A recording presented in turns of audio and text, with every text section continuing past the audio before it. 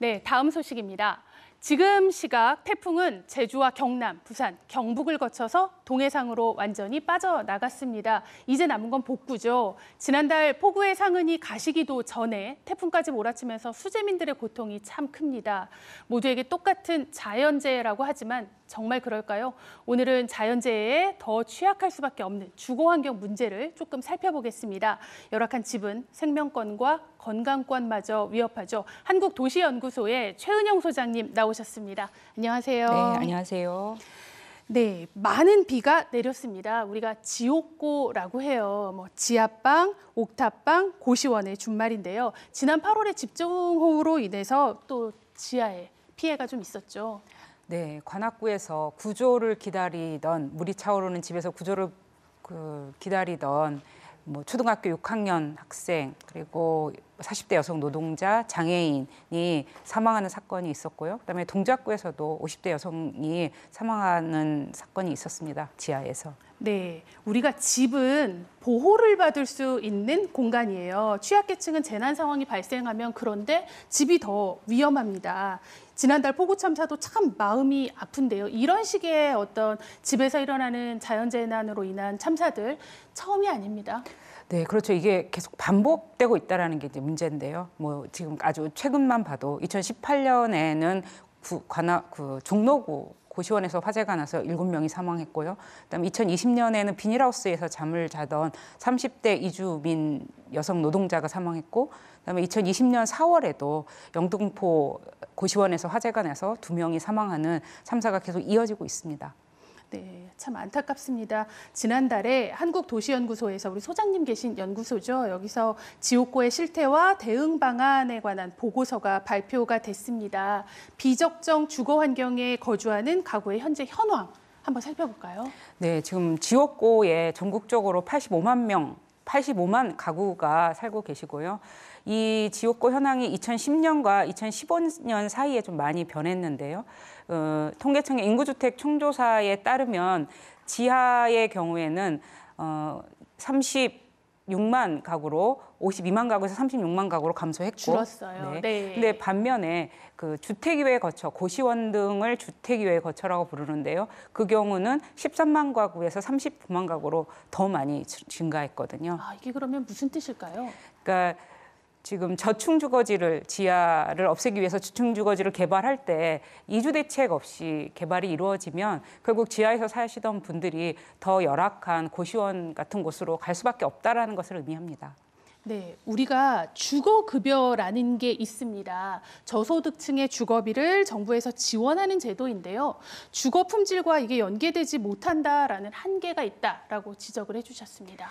네, 정부가 주거급여를 지 급하는 이유는 취약계층의 주거권을 지키기 위한 거고 주거권을 지키기 위해서는 사실은 괜찮은 안전한 집이어야 하고 그리고 주거비 부담을 동시에 해결해야 하는데 우리나라의 주거급여는 주거비의 부담을 덜어주는 것에 그치, 그치고 있고 예, 살만한 집 안전한 집을 보장하지 못하고 있습니다. 그 서울에서 1인 가구가 최대로 받을 수 있는 주거급여가 32만 7천 원이고 한 명에 32만 7천 원. 네. 네. 한 가구에 한 1인 가구요. 가구가 네. 32만 7천 원이고 내년에 이게 33만 원 정도로 오르거든요. 네. 3천 원 불과 오르는데 근데 이 돈 가지고는 갈 수 있는 곳이 지하 옥탑 고시원밖에 없으니까 그 주거급여를 받는 분들이 지옥고에 사시다가 돌아가시는 일이 계속 반복되는 일이 벌어지고 있습니다.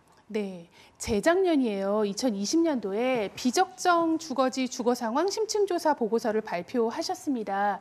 이때 이렇게 비적정 주거에 사는 50명의 심층 인터뷰를 하신 바가 있 어요. 이 은- 인터뷰에 응했던 분들이 좀 어떤 말씀을 하시던가요? 네, 저희가 보이지 않는 곳에 사는 분들을 좀 조사를 해봤는데요. 그 지옥고는 그래도 눈으로 보인다면 더 보이지 않는 만화방, 찜질방 그리고 일터의 일부 공간에서 사시는 분들도 상당히 많으시거든요. 만화방에서도 산다. 네. 네. 이런 분들께서의 인터뷰를 하고 저희가 공통적으로 찾은 건 그 공공임대주택으로 이분들은 3개월 이상 사시면 지원을 받을 수 있는데 그런 사실을 전혀 모르고 계시더라고요. 그래서 이 제도가 있어도 그 제도가 닿지 않으면 취약계층에게 닿지 않으면 있으나 마나한 제도가 되는데 그런 면에서 좀 개선이 필요하겠다라는 생각을 많이 했습니다. 어떤 정부의 지원 제도가 있지만 몰라서 이용을 네. 못한다라는 말씀이십니다. 이번에 서울시가요 앞으로 20년 동안 반지하를 없애겠다 이런 계획을 발표를 했습니다. 뭐 반지하에서 아무래도 이번에 침수되거나 이런 사고가 일어났기 때문이겠죠. 이렇게 반지하를 없앤다라는 대책 실효성이 있다고 보시나요? 근데 이제 2010년에 서울시가 똑같은 대책을 사실 발표한 아, 바가 네. 있었거든요. 그때도 반지하를 없애겠다. 공공임대주택을 공급을 하고 그다음에 신축에 반지하를 못 짓게 하면 함으로써 이 지하 문제를 해결하겠다고 2010년에 서울시가 공언을 했지만 사실상 지켜지지 못했거든요. 공공임대주택은 뭐 약속했던 만큼 지어지지 않았고 그다음에 신축 지하가 문제가 아니라 사실은 우리가 이 지하가 지어진 역사가 굉장히 오래거든요. 수십 년 되었는데 그동안 수십 년 동안 만들어진 지하에서 이 문제가 계속 발생하는데 앞으로 안 짓겠다라고 하는 걸로 문제 해결이 안 된다라는 점에서 좀 실효성 있는 대책이 되기 힘들다고 생각합니다. 그 뉴욕 같은 경우에는 지금 한 10만 명 정도가 지하에 사는 걸로 알려져 있고 우리 서울만 20만 가구 한 40만 명 정도가 살고 있는데요. 뉴욕시에서는 지하를 다 없애는 것은 불가능하다고 판단하고 있거든요.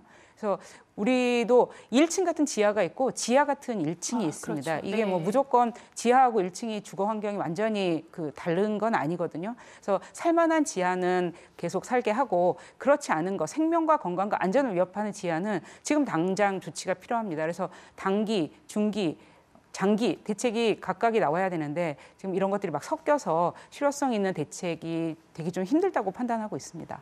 같은 지하라 하더라도 좀 어느 정도의 지하냐에 따라서 그에 맞는 대책이 필요하다 라는 말씀이신 것 같습니다. 네, 우리 2019년에요 영화 기생충이 개봉을 했습니다. 그 장면을 보면 참 지하에 사는 사람들이 얼마나 침수에 취약한지 이 영화에서 참 생생하게 잘 보여줬어요.